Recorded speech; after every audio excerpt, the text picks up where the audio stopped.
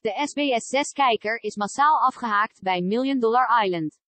Na 569.000 en 613.000 kijkers voor de eerste twee afleveringen, kwam de derde aflevering gisteren uit op 427.000 kijkers 9% marktaandeel.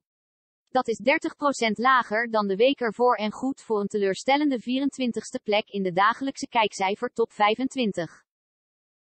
Volgens cabaretier Martijn Koning is het programma, waarin 100 mensen op een onbewoond eiland strijden om een groot geldbedrag, te veel in scène gezet. Ik ben tot 10 of 12 minuten gekomen. Ik kan er niets aan doen, maar ik kan niet tegen scripted reality, zegt hij in de Knorren-podcast. Hij vervolgt, het wordt zo geregisseerd en dat vind ik hier te jammer aan. Als er dan interessante mensen zijn dan kan het nog net, maar het zijn echt.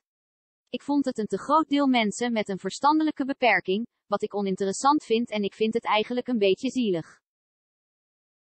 Martijn heeft het idee dat je voor realityprogramma's eigenlijk geen normale mensen meer kunt vinden, omdat mensen met verstand inmiddels precies weten wat ze kunnen verwachten van een deelname.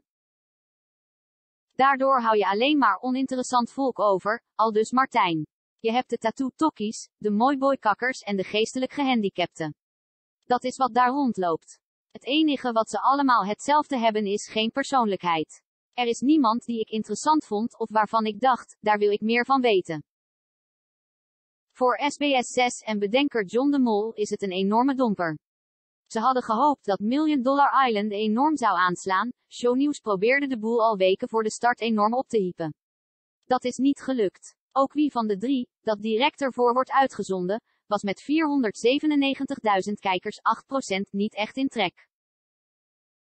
De meest bekeken titels op primetime waren Boer zoekt vrouw met 3 miljoen kijkers 48%, op NPO 1, het aansluitend uitgezonden Wie denk je wel dat je bent met 974.000 kijkers 21% en de RTL 4 titels Beat the Champions 847.000 en 14% en Humberto 794.000 en 20%.